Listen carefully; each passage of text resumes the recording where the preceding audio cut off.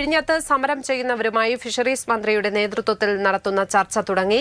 വിക ജനറൽ യൂജിൻ പെരേരയുടെ നേതൃത്വത്തിൽ ഒമ്പത് സമരസമിതി നേതാക്കളാണ് ചർച്ചയിൽ പങ്കെടുക്കുന്നത്. തുറമുഖ നിർമ്മാണം നിർത്തിവെക്കണമെന്ന ആവശ്യത്തിൽ നിന്ന് പിന്നോട്ടു പോകില്ലെന്ന് തിരുവനന്തപുരം അതിരൂപത സഹായമെത്രാൻ ബിഷപ്പ് ക്രിസ്തുദാസ് നേരത്തെ വ്യക്തമാക്കിയിരുന്നു. വിവരങ്ങളുമായി പ്രിയരാഗ് ചേരുന്നു. പ്രിയരാഗ് ആരൊക്കെയാണ് ഇന്ന് ചർച്ചയിൽ പങ്കെടുക്കുന്നത്? സമവായത്തിലുള്ള എന്തെങ്കിലും സാധ്യത നിലനിൽക്കുന്നുണ്ടോ?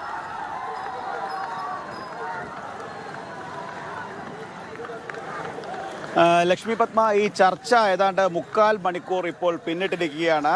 ഫിഷറീസ് മന്ത്രി വി. അബ്ദുൾ റഹ്മാന്റെ ചേംബറിലാണ് ചർച്ച നടക്കുന്നത്. ലക്ഷ്മി പത്മ നേരത്തെ സൂചിപ്പിച്ച പോലെ തന്നെ തിരുവനന്തപുരം ലത്തീൻ അതിരൂപതയുടെ വികാരി ജനറൽ മോൺസിൻജോർ നേതൃത്വത്തിലുള്ള ഒൻപതംഗ സംഘമാണ് ചർച്ചയിൽ പങ്കെടുക്കാൻ എത്തിയിട്ടുള്ളത്. സർക്കാരിനെ പ്രതിനിധീകരിച്ച് മന്ത്രിമാരായ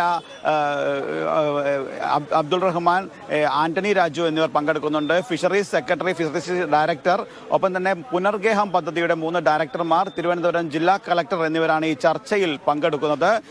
ചർച്ച മുക്കാൽ മണിക്കൂർ പിന്നിടുമ്പോൾ അകത്തു നിന്നുള്ള ലഭിക്കുന്ന വിവരങ്ങൾ അനുസരിച്ച് സർക്കാർ തുറമുഖ നിർമ്മാണം നിർത്തിവെച്ചുള്ള ഒരു നീക്കുപോക്ക് എന്നുള്ള പ്രഥമ ആവശ്യത്തിൽ പിടികൊടുക്കുന്നില്ല. ആ ആവശ്യം സർക്കാർ അംഗീകരിക്കുന്നില്ല. അതേസമയം മറ്റ് മറ്റ് ആവശ്യങ്ങളിൽ പുനരധിവാസം അടക്കമുള്ള ആവശ്യങ്ങളിൽ കേന്ദ്രീകരിച്ചുള്ള ഒരു ചർച്ചയ്ക്കാണ് സർക്കാർ പ്രാമുഖ്യം കൊടുക്കുന്നത്. അതുകൊണ്ട് തന്നെയാണ് മത്സ്യത്തൊഴിലാളികൾക്ക് തീരമേഖലയിൽ വീടുകൾ വെച്ച് നൽകുന്ന സർക്കാരിന്റെ പദ്ധതിയിൽ മുതിർന്ന ഉദ്യോഗസ്ഥരെ തന്നെ ഈ ചർച്ചയിൽ പങ്കെടുപ്പിക്കുന്നത്. ആ അത്തരം ആവശ്യങ്ങൾ പരിഗണിച്ചുകൊണ്ട് തന്നെ മുന്നോട്ട് പോവുക എന്നുള്ള രീതിയിലാണ് ചർച്ച പോകുന്നത്. രാവിലെ തന്നെ വിമാനത്താവളത്തിൽ വെച്ച് ഫിഷറീസ് മന്ത്രി പറഞ്ഞിരുന്നു സമരക്കാരുടെ ആവശ്യങ്ങൾക്ക് മുന്നിൽ കണ്ണടയ്ക്കാൻ കഴിയില്ല എന്ന്.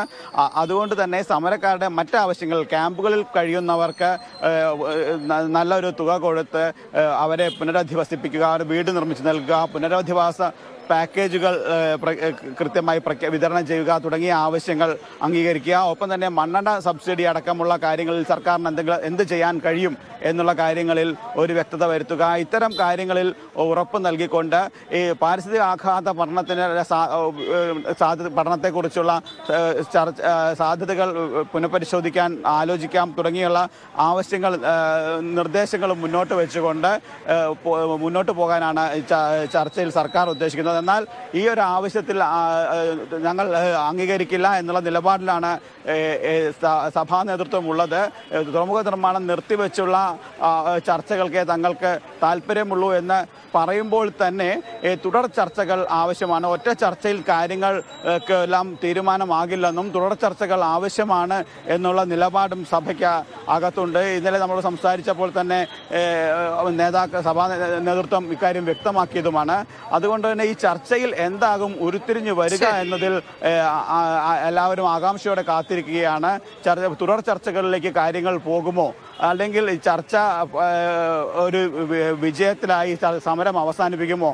അത് അത് അതുമല്ല ചർച്ച പശ്ചാത്തലത്തിൽ പ്രിയരാഗ് ചർച്ചയുടെ ഗതി എന്താണ് എന്നറിയാൻ എല്ലാവരും ആകാംക്ഷയോടെ ഉറ്റുനോക്കുകയാണ്.